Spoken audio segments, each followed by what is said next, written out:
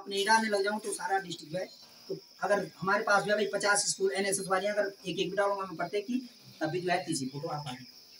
Facebook पे भी upload कर दूँगा मैं शाम को और जो है सब जगह तो पूरे एक्टिविटीज़ को पोस्टर कितने अच्छे अच्छे बना रहे तो पूरे जो है उत्तराखंड और देश में ही जो है आज जो है एन एस एस स्थापना दिवस मनाया जा रहा है। और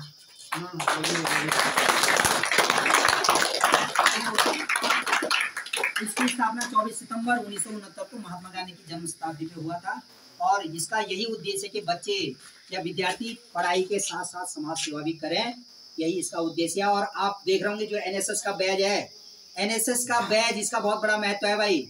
ये उड़ीसा के कोणांक मंदिर के सूर्य सूर्य मंदिर है उड़ीसा के कोणांक का जो सूर्य मंदिर है, उसके रथ चक्र से लिया गया भाई। जो रथ का चक्र है उड़ीसा के सूर्य मंदिर का। जो कोणांक उड़ीसा में कोणांग सूर्य मंदिर है, उसके रथ चक्र या रथ के पहिए से लिया गया है। और उसमें आठ तिथियाँ हैं।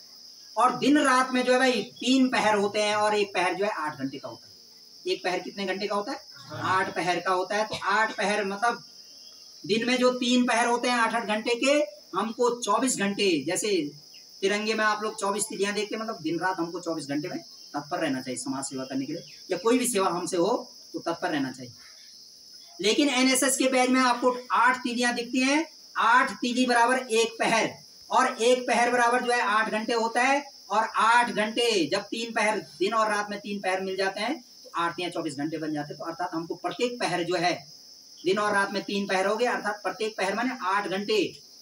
सुबह के आठ घंटे, दिन के आठ घंटे, रात के, हमको प्रत्येक पहर जो है अलर्ट रहना चाहिए, जिस प्रकार से सैनिक जो है, हमारे देश की सीमाओं पर जुटे हुए हैं। तो इसी प्रकार से हमको रहना चाहिए। और ये जो नीला रंग है भाई, जो आपको जो एनएसएस के बैच में जो ये नीला रंग दिखाई दे रहा है, ये ब्रह्मांड का एक छोटा सा अंश है भाई। ब्रह्मांड का एक छोटा सा अंश जो है एनएसएस है, यह पूरे ब्रह्मांड को दिखाता है यूनिवर्स या ब्रह्मांड को दिखाता जो कि संसार है। और इसके बीच में आठ तिथियाँ, आठ तिथि बराबर एक पहर।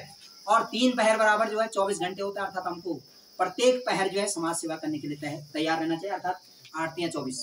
दिन और रात में तीन पहर होते हैं। एक पहर आठ घंटे का होता है। अर्थात आठ या चौबीस घंटे हमको प्रत्येक पहर जो है समाज सेवा के लिए तैयार रहना चाहिए। बीच में आपको लाल रंग दिखाई दे रहा है एनएसएस के बैच के बीच में लाल रंग जो दिखाई दे रहा है। इस लाल रंग का उद्देश्य यह है कि जो है भाई, प्रत्येक स्वयं सेवी को जीवंत होना चाहिए। जागृत होना चाहिए उसको। और जो है उसमें उत्साह होना चाहिए। समाज सेवा के प्रति क्या होना चाहिए उसका? उत्साह होना चाहिए। उसके जीवन में उत्साह होना चाहिए। लाल रंग जो है उत्साह एवं स्फूर्ति का है। उत्साह एवं किसका है? स्फूर्ति और जीवंत का कि हम ज़िंदा है भाई। कहीं पे भी अगर कुछ भी प्रॉब्लम होगी तो फट से जो है स्वयं सेवी को अपने आप। ऐसा नहीं कि कौन जाएगा कौन जाएगा कौन जाएगा पीछे तो रहना ही चाहिए। अपने आप, जैसे हमने बोला भाई अभी जो है, उधर जो है माई को लेकर के जाना है, अपने आप वॉलेंटियर यही तो वॉलेंटियर्स वॉलेंटियर्स का अर्थ ही होता है स्वयं सेवी स्वयं मैंने ऐसे नहीं कि कहीं पे आप लोग देख रहे हैं भाई। कोई बुज़ुर्ग आदमी बीमार है, वो बेचारा चल नहीं पा रहा, वहीं पे गिर गया। प्रेयर में देखा होगा आप लोगों ने। कोई बच्चा गिर जाता तो अगल बगल वाला उसको फट से पकड़ने के लिए। स्वयं सेवी अपने आप कोई भी बन सकता है एनएसएस ज़रूरी नहीं है आप लोग फट से उसको पकड़ लेते, सपोर्ट देते। और कुछ देखते रहते कि यार इसकी ज़िम्मेदारी है, ये है उसको है। कोई देखते रहते गिरने दो यार गिर गया। तो ऐसा नहीं होना चाहिए। कहीं पे भी कोई अच्छे कार्य हो, बुरे कार्य हो तो प्रत्येक में जो है आपको अलर्ट रहना चाहिए समाज सेवा करने के लिए। और एनएसएस का पंजीकरण दो वर्ष के लिए होता है। दो वर्ष के भीतर आपका प्रथम वर्ष में जो है सात दिवसीय विशेष शिविर भी लगेगा। सात दिवसीय विशेष शिविर ट्वेंटी फोर आवर्स का होता है। और आजकल वर्तमान में पहले हम दस दिन का कैंप कर चुके हैं, लेकिन आपके समय में जो है सात दिन का हो गया। सात दिन, सात रात का हो गया और इसका हर जगह नौकरियों में जो है वेटेज मिलता है। और हर जगह जहाँ भी आप लोग प्रतिभा करोगे, इसमें जो है एनएसएस का बहुत बड़ा योगदान है। तो आप लोग देख होंगे, चौबीस सितंबर उन्नीस सौ उनहत्तर को महात्मा गांधी की जन्म शताब्दी पर सैतीस विश्वविद्यालयों के चालीस हज़ार स्वयं सेवियों के साथ महात्मा गांधी ने यह नींव रखी थी कि एनएसएस को लागू किया जाए और उनके मरने के बाद 24 सितंबर उन्नीस सौ उनहत्तर को भारत देश के अनेक प्रकार के शिक्षा आयोग, कोठारी आयोग राधा कृष्णन आयोग, अनेक प्रकार के आयोगों ने जो है बाद में यह घोषित किया कि भाई जो है एनएसएस ज़रूरी है स्वयं सेवियों की पढ़ाई के साथ साथ समाज सेवा ज़रूरी है। और इसका प्रत्यय वचन है भाई मैं नहीं परंतु आप नॉट मी बट यू या हमसे पहले आप हमसे पहले आप। या मैं नहीं परंतु आप आप कहीं पे भी चले गए और फट से जो है बड़े आदमी को देखा सीट छोड़ दी सर मैं नहीं परंतु आप नॉट मी बट यू या हमसे पहले आप। ठीक है? हमसे पहले आप। नया ये बन गया हमसे पहले आप। पहले तो आप था मैं मैं नहीं परंतु आप अब वे हमसे पहले आप। और इसका सेवा अस्माकम धर्म। सेवा ही हमारा धर्म है। यह इसका जो है भाई उद्देश्य है। और इसका प्रत्यय वचन, या एनएसएस का प्रत्यय वचन जो है नॉट मी बट यू है, आपको बता दिया। और जो है भाई, सत्यमेव जयते को आधार मान करके चलते हैं हमेशा। सत्य की विजय होती है। सेवा अस्माकम धर्म, सेवा हमारा धर्म है। और इसी प्रकार से जो है आप लोग एनएसएस में विभिन्न प्रकार की जो गतिविधियाँ होती, कहीं पे कोई बीमार हो गया, आप लोग रुद्रमाना हॉस्पिटल के आसपास है आप लोगों ने व्हाट्सएप ग्रुप में अभी नहीं अठारह साल हो जाएँगे जब तो हम मैसेज भेजेंगे तो फट से जो है कहीं देखा आप लोगों ने?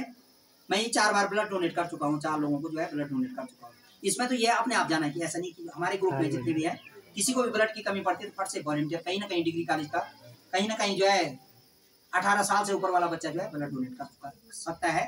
हमारे एनएसएस कार्यक्रम अधिकारी जनपद रुद्रप्रयाग के भी बहुत सारे ब्लड डोनेट कर लेते हैं। हमको भी कई बार मैसेज आता तो हम दूर हो गए। जैसे रुद्रप्रयागी में किसी की जान बचाने तो वहीं रुद्रप्रयाग वाला ही वहाँ चले जाता है।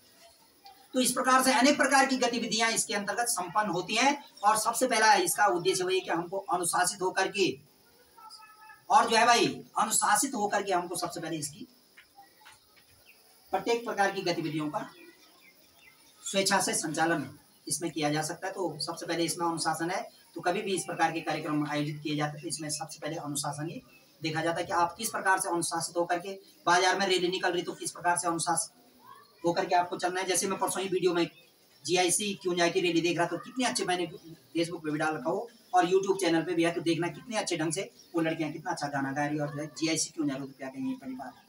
कितना अच्छा उनकी वीडियो देख लेना परसों की बात करो ना जिस दिन वो run for unity run for अमृत आज़ादी का अमृत महोत्सव में दौड़ रहे थे तो वो लड़कियाँ क्यों